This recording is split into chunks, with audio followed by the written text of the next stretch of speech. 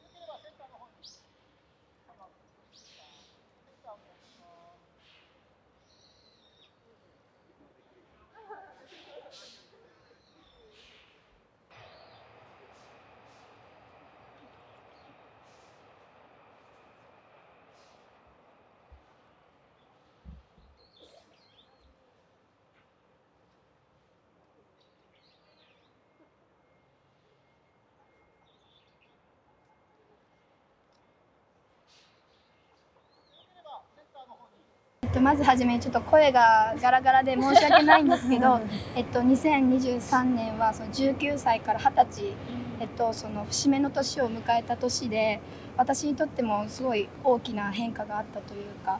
あとお仕事の面では嬉しいことも楽しいこともあったんですけど、まあ、悔しいこともあってすごくなんか鼓舞させられた1年になりました。2023年がちょっと体調崩しやすかったり、ちょっと肌が荒れたりちょっと今も喉がそうなんですけど、ちょっと体調を崩しやすい1年だったので2024年はちょっと体調管理に気をつけてあのしていきたいなって思うのとあとお仕事もプライベートも忙しい1年になったらなって思います。今取り組んでる健康管理方法とかってありますか？あの私2002今年からジムに通い始めて週23回ぐらい行くようには心がけてます。えー今年はえっと学びと気づきがとっても多かった一年だなっていうふうに思います。今年もすごく素敵なお仕事でご縁をいただいて、その中でこう自分の考えがこう変わるきっかけだったり、何かこうなんだろうな自分の中でこうお芝居する上での対しての考え方だったり、そういうものがすごく変化した一年だったなというふうに思います。私は今年は本当にあっという間の年だったなというふうに感じています、今21なんですけれども21年間生きてきてこんなに1年が早く感じたことはなかったなと思うぐらい1年が早くて、えー初めてお仕事で海外に行かせていただいたりですとかあとはあの5年ぶりにグラビアの方も挑戦させていただいたりですとか本当にいろいろな経験をさせていただいた1年だったなと思いますとそして今年は本当にご縁に恵まれて、えーいろいろな方から素敵なおこお話をいただけたりお言葉をいただけて本当に1年心に響いた年だったので本当に実りのある1年だったなというふうに思います。はい、と私は高校に入学をしてさらに地元を離れて上京をしたすごいなんか決断をした年だったと思います。とやっぱその時はすごい勇気も必要だったしギリギリまですごい悩んでいたんですけど今思うとなんか夢に近づいた気がしてすごい良かったなっていうふうに思っています。そうですね。2024年は、えー2023年たくさんインプットした年だったので、それをこう爆発させるような、あの作品だったり役柄に挑戦したいなっていうふうに思います。私は、えっと、今年社会人1年目の年だったので、あの今まで学生役が多かったんですけどこう役職のある、はい、あの作品というか役柄に挑戦することが多かったのであのこれからたくさんいろんな役柄というか役職の役柄をやりたいなというふうに思います。なんか具体的にこんなのやりたいなってのあったりします？そうですね。警察官とか。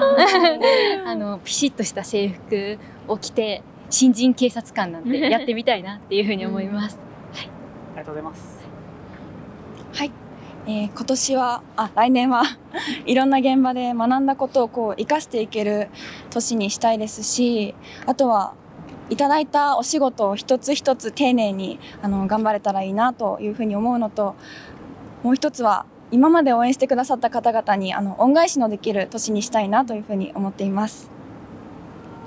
なんかファンとの交流とかを考えてるってことですか？そうですね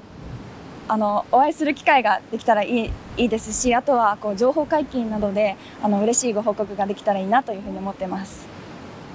小野さんお願いしますはい、と私はと2024年が終わった時にすごい成長したなっていうふうに思える1年にしたいなというふうに思っています。あの今はずっとモデルさんとして活動していたのでちょっと今年2000 2024年は女優さんとしてもチャレンジできたらいいなというふうに思っています。なのであの日々のレッスンをより頑張っていけたらいいなというふうに思っています。